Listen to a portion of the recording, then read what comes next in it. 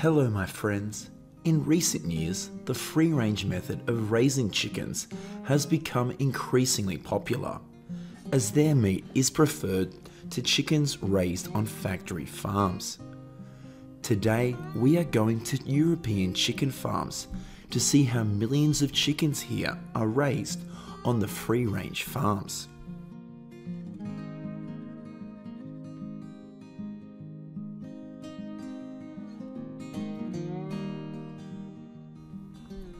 For a long time, large scale industrial chicken farming has been considered a very popular and relatively profitable business. Over 37 billion chickens are raised annually to provide an important source of food and contribute greatly to the world economy, especially for countries with modern agriculture like Europe. You know, one of the first industrial chicken farming methods proposed in 1960 and applied to this day is free range chicken farming. This is a farming method in which animals will have at least a few hours a day to perform their natural behaviours, instead of being confined in a cage for 24 hours a day. As you can see, the image of free range chickens is like birds roaming in the vast grasslands, enjoying a happy, natural life.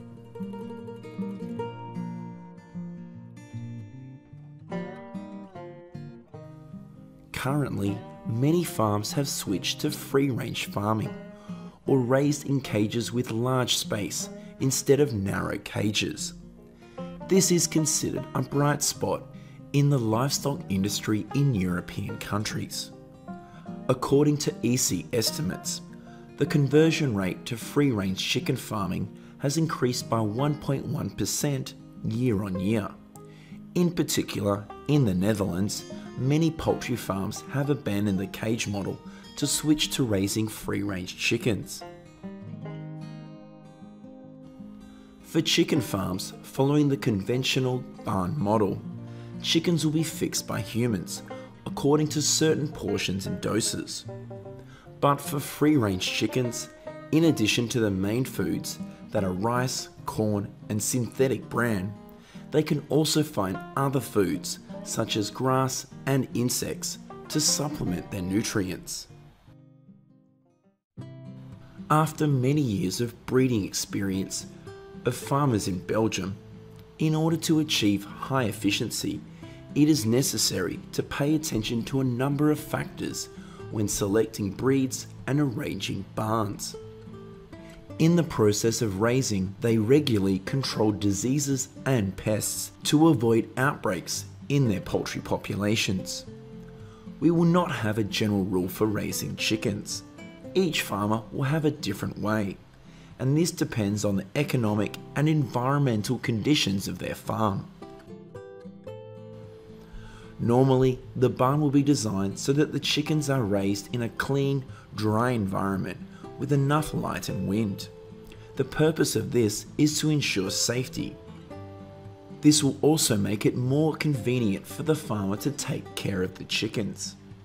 For free range chickens, the barn model will be more spacious, able to accommodate a large number of chickens, and have ventilation to create a comfortable environment for them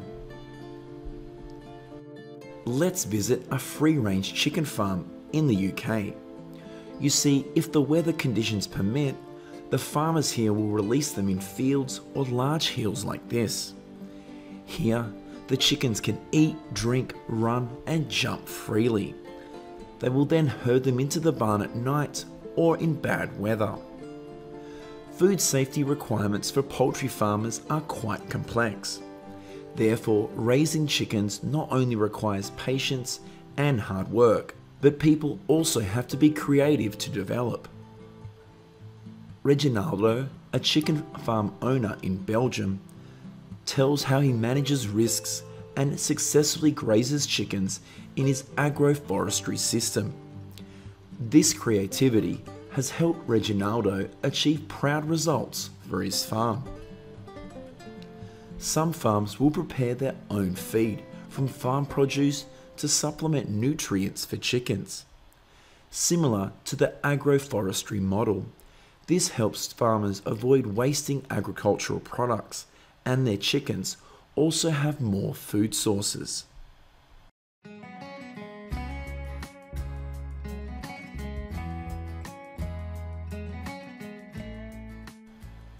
On a small farm in eastern France, this farmer can harvest up to 850 eggs a day. If raised correctly, the egg production is very high. The sad thing is that nowadays, most chickens are raised for raw eggs on factory farms, with absolutely no way to the outdoors. Most of them spend their entire lives in small cages. There are very few hens raised on free range farms, as we have seen in this video.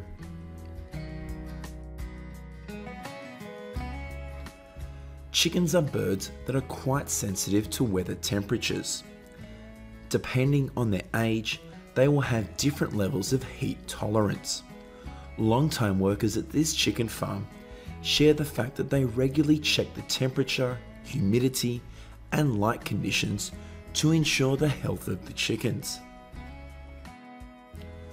Most breeders find that the broiler breed has a relatively rapid development process. Both the chicken stage and the adult stage fall around 4 to 6 weeks. However, chicken breeds that lay eggs will need a longer development time. At the chicken stage, they need 18 to 22 weeks. To adulthood, the development of egg laying hens will last from 50 to 60 weeks. In addition, farm owners often have to pay attention to the provisions of the law on food safety and environment when carrying out industrial chicken farming. Proper implementation of the industrial chicken farming process will help improve productivity and economic efficiency in industrial chicken production while ensuring product quality and food safety for customers. Hello everyone. Today we are going to sheep farms in the United States to see how millions of sheep here are raised. According to statistics, in 2021, in the United States, there are 100,000 sheep farms with more than 5 million heads. Currently, up to 80% of sheep in the United States are raised on large scale farms. Most large-scale sheep farms are concentrated in states like Texas, California, and Colorado. This is different from sheep in other countries like China, Australia, or New Zealand. The majority of sheep are raised in the United States for the purpose of meat, with the number of sheep raised for wool in the country only about 17%.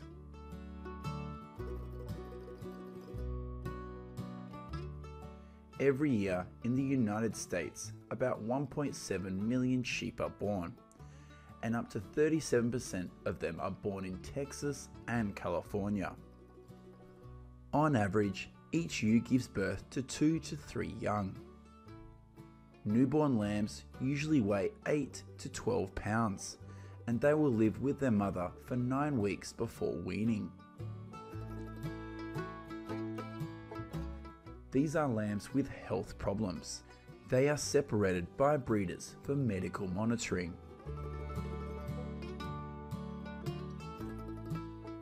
This is a sheep breeding farm in California with more than 700 ewes.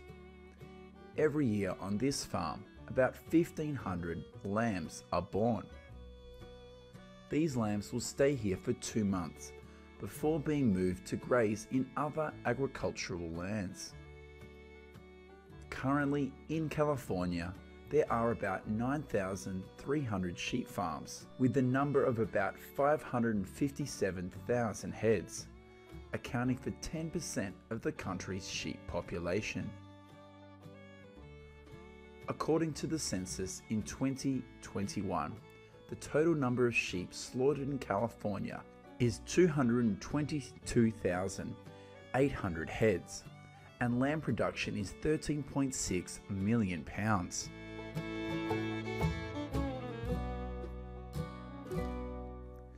These workers are cutting sheep's tails. Sheep tailing or docking is usually done when the sheeps reach about two weeks of age. Trimming the sheep's tails is an important job on farms. This helps prevent flies and parasites from attacking the anal area of the sheep. In addition, this also helps the mating process later to bring better efficiency.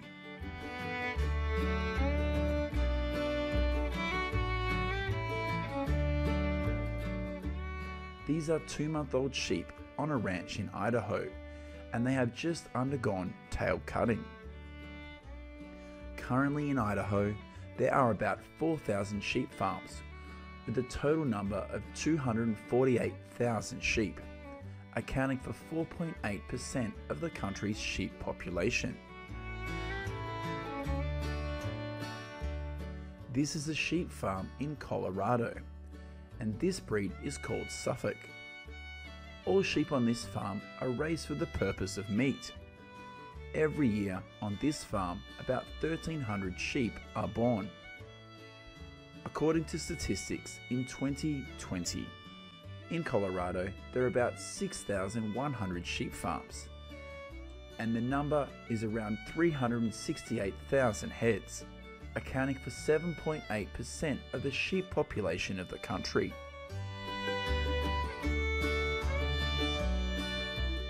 Lambs are considered sexually mature when they reach 6 to 8 months of age, at which point their weight ranges from 66 to 83 pounds.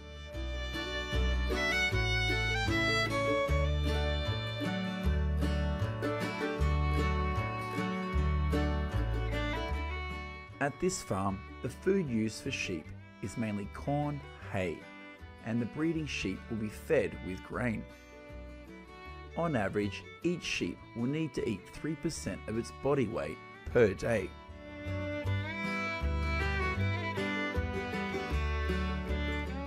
This is the process of removing hair from the anal region of adult sheep. Even though these sheep have had their tails cut, their thick anal hairs are still ideal habitats for parasites and flies.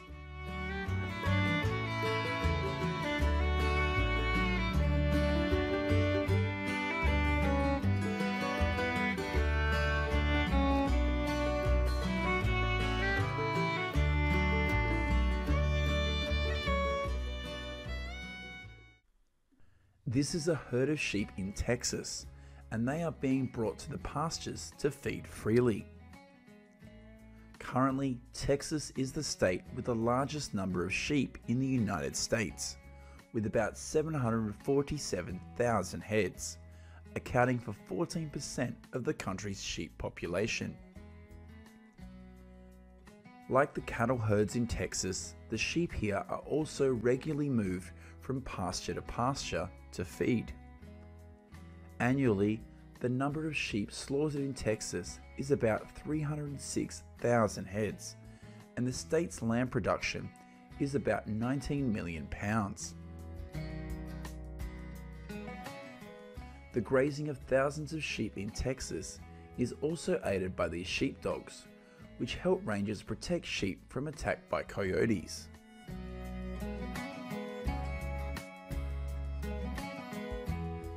This is the sheep bathing process. The adult sheep will be bathed every two weeks. This helps protect them from attack by lice and other parasites.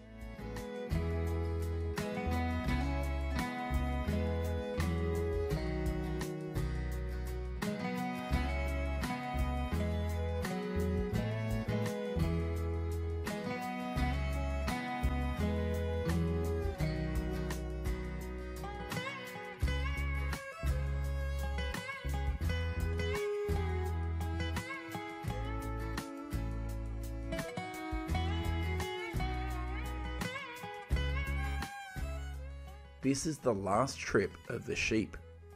This period from 8 to 10 months old is when thousands of sheep are transferred to lamb processing plants. At this plant, sheep are anesthetized using an electric current before slaughter can begin.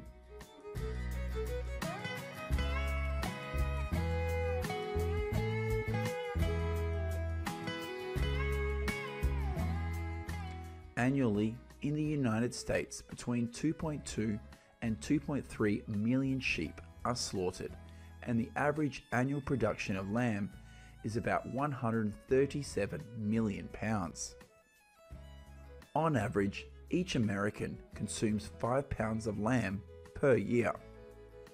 In addition to the amount of lamb produced domestically, the United States also imports most of its lamb meat from Australia and New Zealand.